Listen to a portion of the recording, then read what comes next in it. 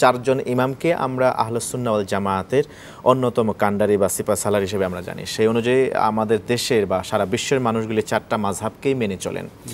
কিন্তু আমরা যেহেতু হানাফি মাঝহাব যেভাবে মালিকি মালিকি সাফে শাফি হাম্বলি এভাবে সবাইকে আহলুসুন্নাওয়াল জামায়াতের অন্তর্ভুক্তই বলে থাকে। কিন্তু যখন আমরা আমলের দিকে যাই যখন ভিন্ন ভিন্ন আমল এক এক মাঝহাবের আমল যদি এক এক রকম হয়ে থাকে একটি বিষয়কে কেন্দ্র যেমন সালাতুল ভিতরকে কেন্দ্র করে তাহলে কেন আমার আমরা শাফি ভাইরা হানাফিদেরকে বলে যে না এদের এটা ঠিক না?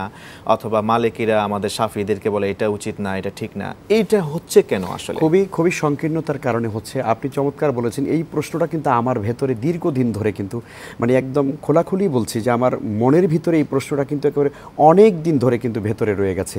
যে আমরা যারা বলছি মাজাহাব চারটা মাজাহাব মানতে হবে মাজাহাবের খুবই গুরুত্বপূর্ণ আলহামদুলিল্লাহ আমরা স্বীকার করছি। মাজাহাবের অবশ্যই জরুরাত রয়েছে আবশ্যকতা রয়েছে। কিন্তু যারাই আমরা বলছি মাজাহাব মানতে হবে মাজাহাব মানা জরুরি মাজাহাব মানা ফরজ ইত্যাদি ইত্যাদি। কিন্তু ওই ভাইরাই যখন হানাফি মাজাহাবের বিপরীতে কোনো আমল যখন দেখতে পান যেমনটা আপনি বললেন ধরুন আমাদের হানাফি মাজাহাবে সাধারণত রফুল ইয়াদেন করা হয় না। এটি নেই। কিন্তু অন্যান্য মাজাহাবে আপনি হাম্বারি মাজাহাবে শাফি মাজাহাবে মালিকি মাজাহাবে এই সকল মাজাহাবে কিন্তু মালিকি মাজাহাবে যদিও সেখানে হাত ছেড়ে দেওয়ার একটা ব্যাপার আছে কিন্তু অন্য মাজাহাবগুলোতে আমরা রফুয়াল ইয়াদাইন আমরা দেখতে পাই এবং এই বিষয়টি প্রতিষ্ঠিত সন্না দ্বারা। সন্না দ্বারা প্রতিষ্ঠিত সেই বোখারি যারা আমরা খতম করাই আমরা তো বোখারি খতম করে উৎসবও পর্যন্ত করে থাকি। অথচ অথচ ওই লোকেরাই বলছেন যে সহি বোখারিতে এরকম কোনো হাদিস নেই। ইন্নার ইল্লাহি ওয়া ইন্না ইলাইহি রাজিউন। চিন্তাই করা যায় না যে কতটা স্ববিরোধী বক্তব্য আমরা দিচ্ছি। আমরা নিজেরাই বোখারি খতম করে আমরা এখানে উৎসব করি আর সেখানে খাওয়া খানা দানার আয়োজন করি মানে হাদিয়া তোহবার ব্যবস্থা করি। অথচ ওই ব্যক্তিরাই বলছেন যে সহি বোখারের মধ্যে এভাবে রফিয়াল আদানের কোনো হাদিস রফিল আদানের কোনো হাদিস পাওয়া যায় না। ইন্নার ইল্লাহ এটা খুবই ভয়ঙ্কর একটা ব্যাপার। আসলে মূলত এটা আমাদের সংকীর্ণতা।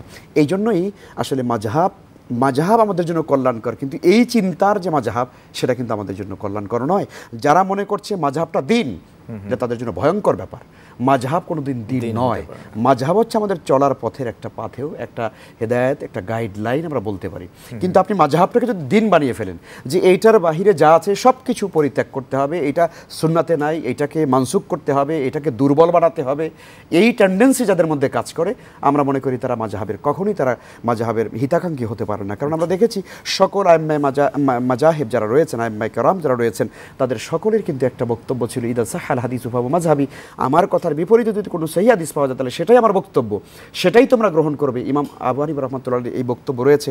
এবং শাফি রহমতুল্লাহ বলেছেন যে, আমার কথার বিপরীতে তোমরা যদি কোনো কথা পাও, তাহলে সেটাকে দেয়ালের ভিতরে ছুঁড়ে ফেলে দিবে। আমার কথাকে গ্রহণ করবে না তোমরা, সেই হাদিসকে তোমরা গ্রহণ করবে। এই যেখানে মাজাহাবের ইমামগণের টেন্ডেন্সি বা তাদের এই যে মানে উদারতা, সেই উদারতাকে আমরা লালন করতে পারছি না।